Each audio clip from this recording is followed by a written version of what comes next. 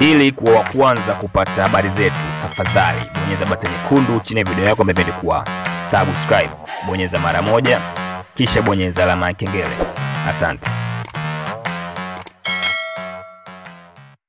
Asante sana kwa we ambaye umechukua nafasi yako na kutembelea katika YouTube channel yetu. Agasti uh, 31 mwisho wa mwezi huu hapa 2019, tunazo habari mbalimbali ambazo zimeweza kutufikia mezani kwa siku ya leo, lakini kubwa zaidi ni kuhusiana na ajali ambayo imeweza kutokea na mwisho wa siku kuweza kuangamiza takribani Watanzania wapatao watano baada ya gari ambalo lilikuwa limebeba malighafi na zungumzia kampuni ya Dangote kuweza uh, ku pata ajali na mwisho wa siku kuripuka na kuangamiza Watanzania wapatao takribani watano. Lakini kabla ya kusogezea habari hizi kiundani zaidi, pende kuchukua nafasi hii kukaribisha we ambaye ni mara yako ya kwanza kuweza kutembelea katika YouTube channel yetu na bado hauja subscribe, hakikisha tu unagusa alama ya subscribe button nyekundu iliyoko chini ya video hii. Hapa then kuna alama ya kengele itatokea, ibonyeze ili uendelee kuwa wa kwanza kuenjoy matukio mbalimbali ambayo yamekuwa yakitokea kupitia ndani ya area code ya plus 255 na pia usisite kutuachia ujumbe wako mfupi amini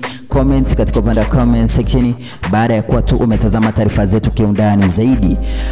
Karibu ni kusogezea habari hii kiundani zaidi. Watu wapatao watano wamefariki uh, baada ya gari la Dangote lililokuwa limebeba malighafi ya kutengenezea saruji likielekea Mtwara kugongana na gari dogo na kupinduka kisha kuwaka moto baada ya kupoteza mwelekeo na kugonga nguzo ya umeme na mwisho wa siku ikaanguka na waya wenye moto ukanasa kwenye bodi ya gari hiyo ya Dangote, ndipo watu wapatao uh, takribani wanne wakafariki hapo hapo na mmoja aliyekuwa kwenye gari dogo akafariki wakati akipatiwa matibabu au wilayani Rufiji mkoani Pwani.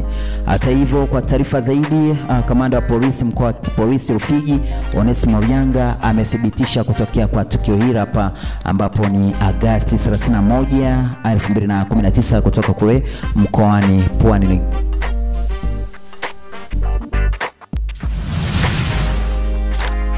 Usisahau ku